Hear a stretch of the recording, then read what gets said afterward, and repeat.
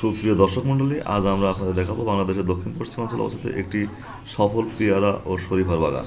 এই বাগানটি চুয়াডাঙ্গা জেলার জীবননগর উপজেলার রায়পুর গ্রামে অবস্থিত। হৃদয় মোল্লা নামের একজন কৃষক দুই বিঘা জমির উপর আটশো সুপার টেন পেয়ারা এবং দুইশো শরীফার সমন্বিত চাষ করেছেন। এখন আমরা তার মুখেই তার সাফল্যের কথা শুনব। আহ, বিঘা প্রতি কতগুলো গাছ লাগে? আমরা বিঘা প্রতি চার হাত বাই চার হাত লাগাইলে এক আমাদের চারশো গাছ ধর।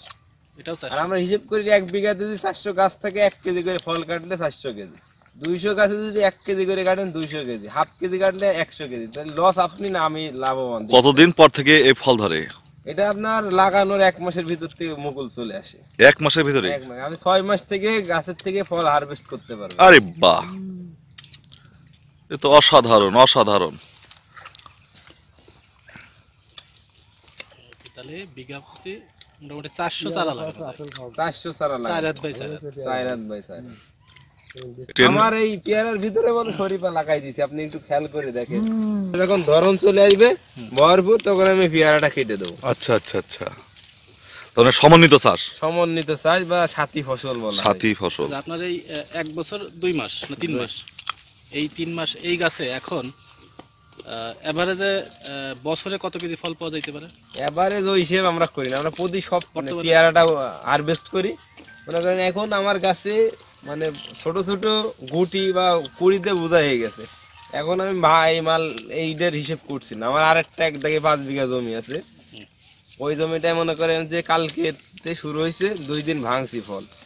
আর এখনও দুই দিন ভাঙতে হবে। একশো মন পেয়ার হবে আড়াই বিঘা জমিতে। আমরা এখন ওইটার দিকে পড়ে আছি। এটা এখন দেখেন যে ছোট ছোট গুটি আছে এগুলো পিপি মারবো। এটা যখন ভরপুর হবে তখন মনে করেন সপ্তাহে এই দুই বিঘা ভুটতে আমি পঞ্চাশ মন ষাট মন করে পেয়ারা ভাঙবো।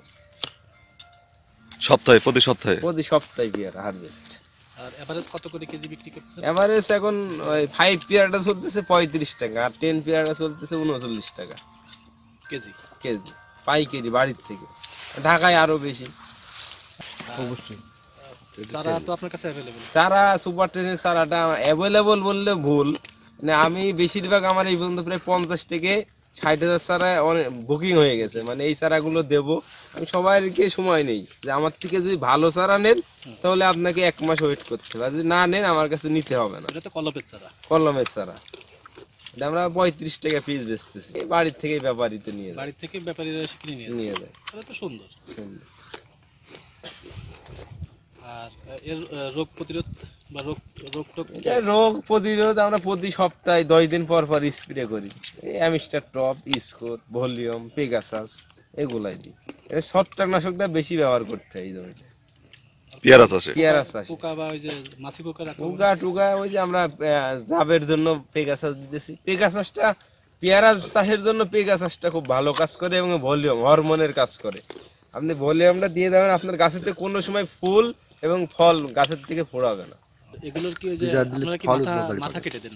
হ্যাঁ যে ডুগা কেটে দিছে এই যে ভালো করে। একটা ডুগা কাটছি এতে ফুল আসছে। দেখেন একটা করে ফুল। এই দেখেন। যত ডোকা কাটা যায় তত যত ডুগা কাটবেন প্রত্যেকটা ডুগায় ফুল কোনো ডুগায় ফুল মিস নাই। এই যাত্রার যেমনি কাটবেন সেমনেতেই ফুল বেরো এই দেখেন আপনার চার পাঁচ পাতা হইছে। ফুল ডবল ফুল এই যে ফুল চলে আসতেছে।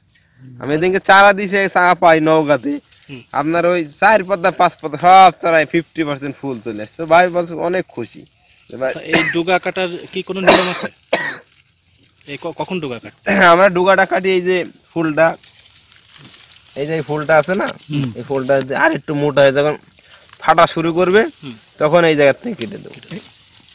এক গিরে রেখে তখন দুটো বা তিনটে আরও ডাল ডাল বেরোবে। হ্যাঁ এই যাতে আবার দুইটা ডাল বেরোবে। এটাকে বলে ঝোপ পদ্ধতি।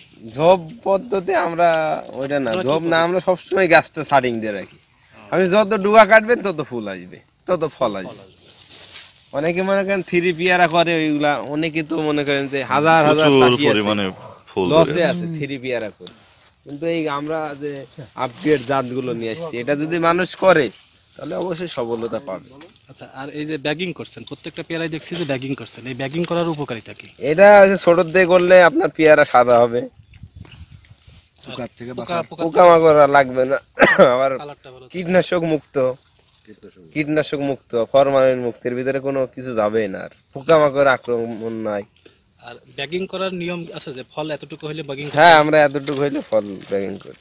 দেখুন দর্শক মণ্ডলী ফল নর্মালি একটা পিং পং বলের সাইজ হলে মানে এর থেকে ছোট অবস্থায় করা যাবে না। ছোট আমরা এই যে আপনার পেছনে দেখেন গুটি গুটি সাইজ এই যে এগুলো হবে এখন ব্যাগিং এর উপযুক্ত সময় হয়ে গেছে আর মানে বৃষ্টির কারণে আমরা স্প্রে দিয়ে আবার ব্যাগিং করা শুরু করব। এর আগে ব্যাগিং করলে ফলটা পড়ে যাওয়ার সম্ভাবনা থাকে। পড়ে যাওয়ার সম্ভাবনা থাকে। আচ্ছা সুপার টেন পেয়ারা এটার ভিতরে বীজ হবে খুব কম। আমি একটু কথা বলি কথার মাঝখানে কথা বলি। আমরা যে পেয়ারাটা খাচ্ছি পেয়ারার যে আমরা কিছু অংশ ফেলি আমার এই অংশটুকু ফেলতে ইচ্ছা করতেছে না। মনে হচ্ছে এটা খুব খাই আমি। এত সুন্দর লাগতেছে পেয়ারা। মানে এটা টেন পার্সেন্ট টিএলএস আছে টেন পার্সেন্ট আমাদের এদিনকে আমরা পরীক্ষা করে দেখছি ফাইভে আছে ফাইভ পার্সেন্ট মিষ্টি আর টেনে আছে টেন পার্সেন্ট